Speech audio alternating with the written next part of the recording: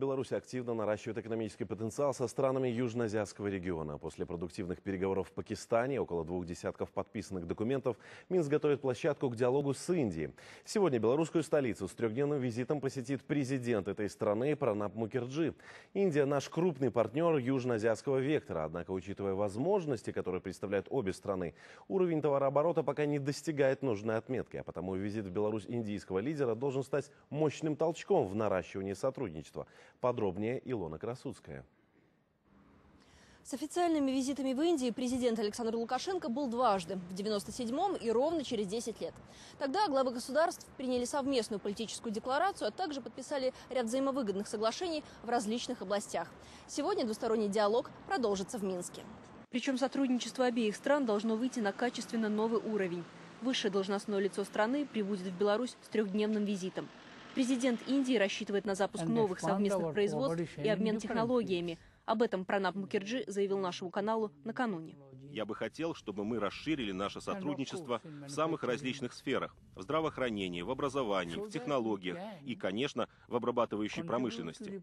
Тем самым мы сможем внести свой вклад в прогресс, развитие и повышение благосостояния наших народов. Мы должны работать, развиваться и двигаться вперед вместе. Это стратегическая цель, которую мы хотели бы достичь в ходе моего официального визита. Индия крупнейшая страна Южной Азии, второе место в мире по численности населения, после Китая более миллиарда человек, и седьмое по территории.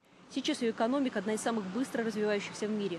Валовой внутренний продукт почти 7 триллионов долларов. Индийская экономика почти не зависит от финансовой нестабильности в мире, курс рупий колеблется слабо, а падающие цены на нефть для нее крупного импортера и вовсе благо.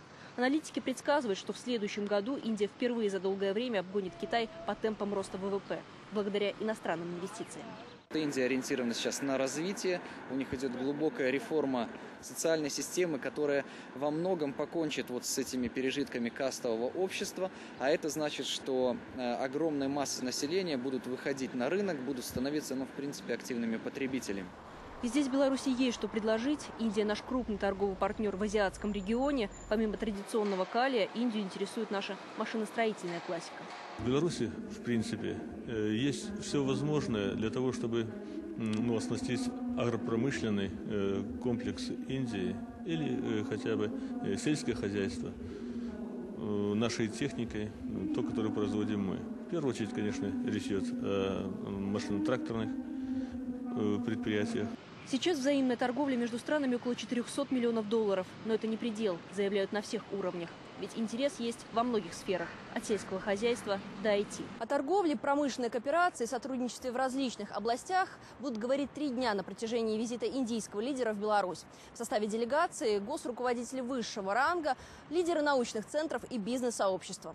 Илона Красудская, Светлана Лукинюк и Анатолий Долотовский. Агентство теленовостей.